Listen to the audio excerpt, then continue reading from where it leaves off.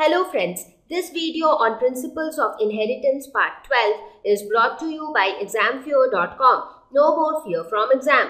So now based on the monohybrid cross or based on this experiment performed by Mendel, he gave very important principles of inheritance. And these were the basic principles of genetics. And what were those principles? They were law of dominance and law of segregation. So these were the two very important principles or laws whatever you call them uh, in the field of genetics. So these were the first laws you can say which could actually say that how the traits are being passed on from one generation to the next generation.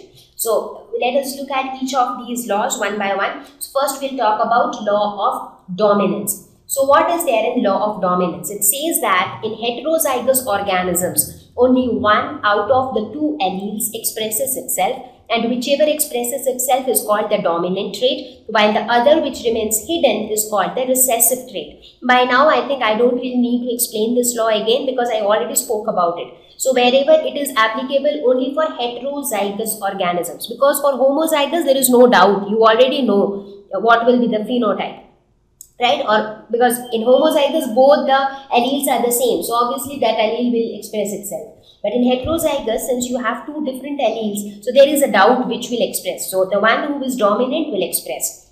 So that was the law of dominance. So, so this is what was observed in the Mendel's first experiment where when a tall plant, that is the homozygous tall, was crossed with the homozygous dwarf, it was seen that all the plants were tall. So why were all of them tall? That's because even though they were all heterozygous, that is they had one dominant allele and one other one recessive. But still capital T was a dominant trait and small t was a recessive trait. That is why capital T got expressed and the plants were all tall in the F1 generation. So this was the law of dominance. So due to this law, the dwarf trait was hidden in the F1 generation. The next law was law of segregation. Segregation. Segregation means separation. So this law states that each allele retains its distinct identity even though they remain together. Now when you talk about any gene, whether you talk about this or you talk about this, now each allele has its own identity. They do not blend with each other. As this was as per Mendel's law. He said that if capital T is coming with small t that I mean, they always stay together right? Because as we know alleles do not exist singly.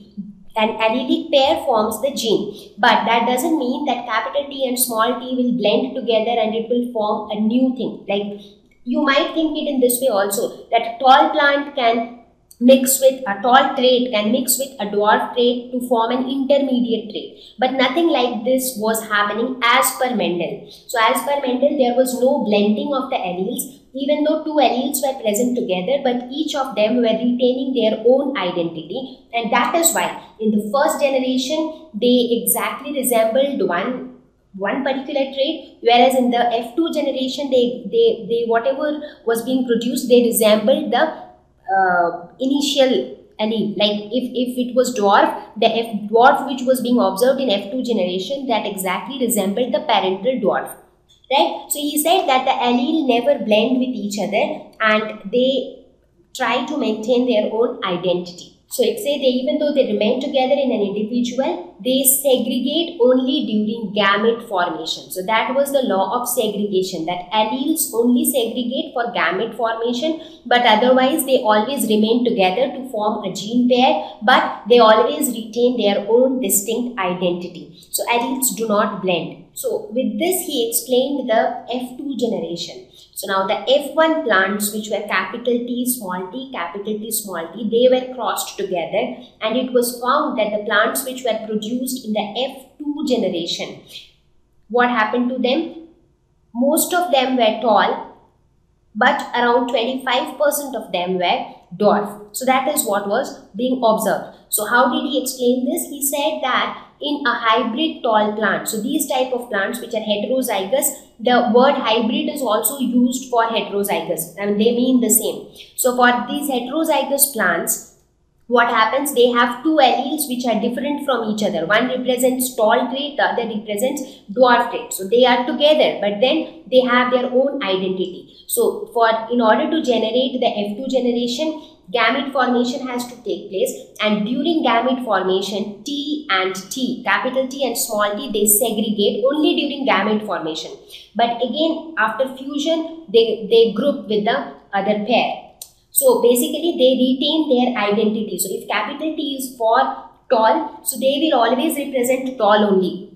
So even if it is present with small t, there is no blending between the alleles. So this was what was told by uh, Mendel. So Mendel felt gave these two laws depending, I mean based on his experiments on monohybrid cross. So with monohybrid cross, he said that law of dominance that is one trait will dominate over the other trait and the second was the law of segregation that is the alleles will segregate during gamete formation. However, so these were the first laws in the field of genetics as I mentioned before also.